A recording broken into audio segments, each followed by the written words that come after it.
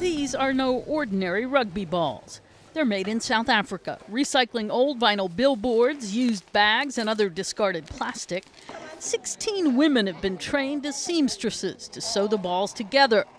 Malenna Ntsie says she's glad she's got the work, which pays her 20 rand, just under $3 for every ball.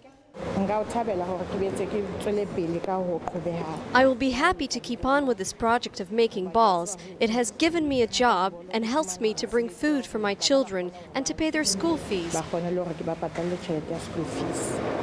as well as taking care of my personal needs.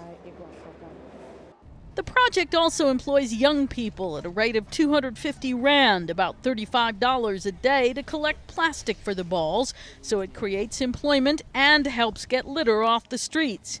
The nonprofit job training organization called Live helped get the staff up and running. Group founder Russel Porteous hopes the balls, which sell for a lot less than traditional rugby balls, can spread the sport to youngsters.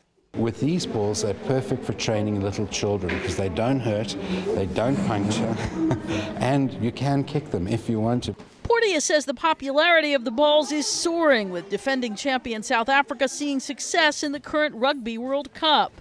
And he and the marketing company that started the program are hoping to build on that in the future.